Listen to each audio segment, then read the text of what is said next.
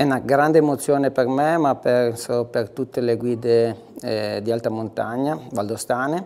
e soprattutto è grazie a tre segreti che, che questo, questo, fattore ha fatto sì che sia oggi qui oggi. Eh, uno è la professionalità, due sono la, la capacità de, di noi guide alpine ad andare in montagna e poi la,